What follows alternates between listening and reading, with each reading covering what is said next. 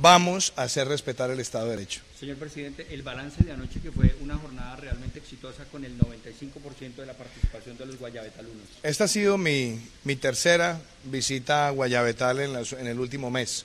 Nosotros estuvimos desde el primer día que se presentó la emergencia, hemos adelantado más de 19 puestos de mando unificado, se hicieron antes de anoche dos simulacros, uno con una participación del 21%, otro con una participación del 61%. Le prometí a la comunidad que estaríamos en Guayabetal anoche. Estuvimos participando en el simulacro, tuvimos una participación del 95%, una gran respuesta cívica y ciudadana en medio de tanta lluvia, porque el clima anoche fue bastante duro para la comunidad, pero se vio una comunidad comprometida haciendo un ejercicio pedagógico y además importante. Quiero además destacar que vimos a los niños, a los ancianos, todos trabajando y me alegró también ver cómo los propios niños en las casas estaban diciéndole a sus padres cuál era el protocolo a seguir.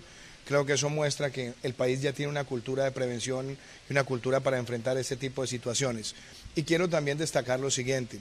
Yo creo que Guayabetal hoy está recibiendo un apoyo por parte de la Unidad de Gestión del Riesgo con un censo de damnificados desde el punto de vista económico. Las personas que tenían sus negocios y yo espero que en los próximos días ya empecemos a cubrir esos subsidios de atención de emergencia.